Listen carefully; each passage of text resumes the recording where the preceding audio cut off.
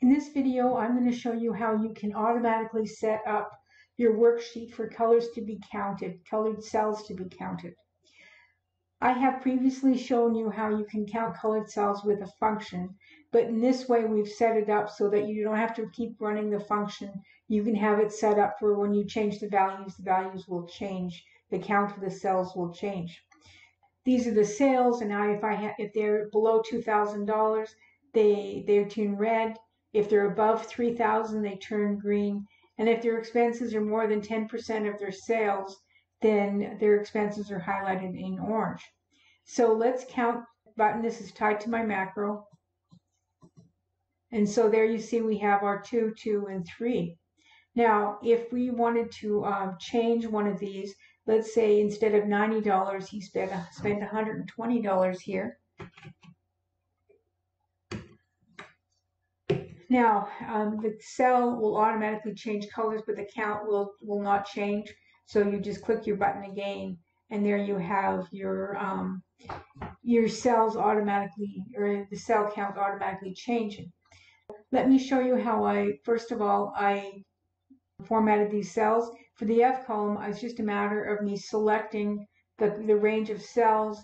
I've gone on the Home tab to Conditional Formatting, and I go highlight cell rules and I say greater than um, 3000 is green and I go less than 2000 is red.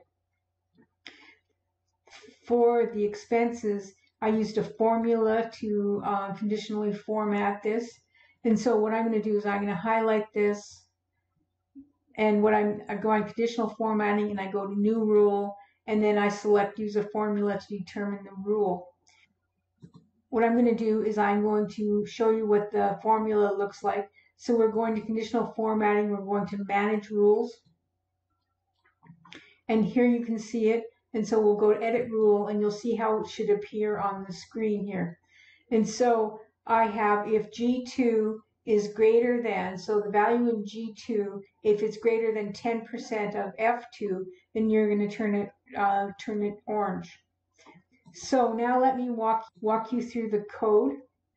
So my my code is called auto count color and I've declared two cell range and cell range two is ranges. I've target cell one, target cell two, and target cell th three as ranges. Target color is long, count as long. C is a range, and that's like the cell in the ranges. What I've done is I've set cell range equals to the F column. So that would be F2 to F14. For cell range 2, that would be the G column, that's where we're calculating the 10%.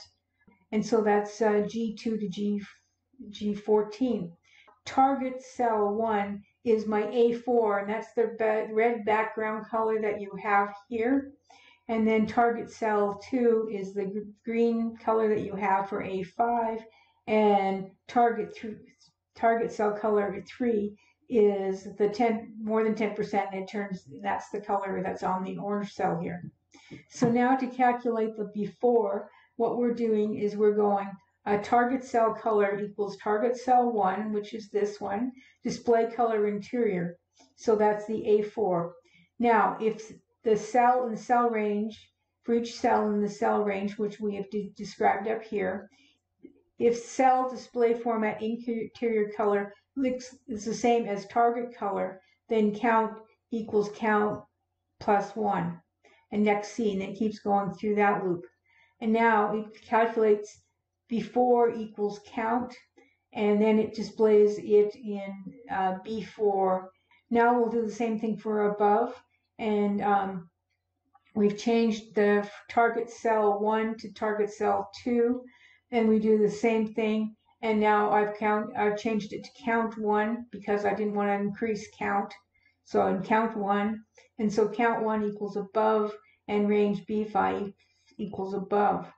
And the third one is target sun. So we have target three, which is this one, and now we have uh, changed the cell range. Now we're doing the cell range for G here, and the same thing is we count the colors. We've gone count color two, so it doesn't keep adding to one or the or the other.